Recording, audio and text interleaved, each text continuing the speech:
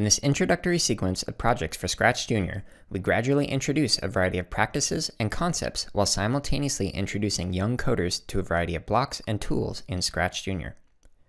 Our sequence begins with three introductory dancing projects, which begins by introducing motion blocks for a single sprite, continues with using parameters and loops on another sprite, and then using the green flag to trigger a dance party with multiple sprites.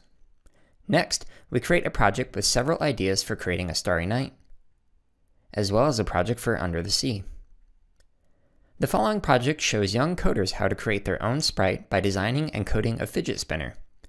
We then create an interactive diorama on outer space, which causes sprites to respond when tapped. We then expand upon the previous understandings and combine them with the sound blocks to create a project about animal sounds, followed by a project about making music. This sequence concludes with a randomized synthesis project where coders apply their understandings by storyboarding their own projects for randomly generated project ideas. Hey everyone, if you're watching this on YouTube, go ahead and like, comment, and subscribe. If you're not watching us on YouTube, you can find us on that platform as well as other social media outlets by searching for BootUp PD.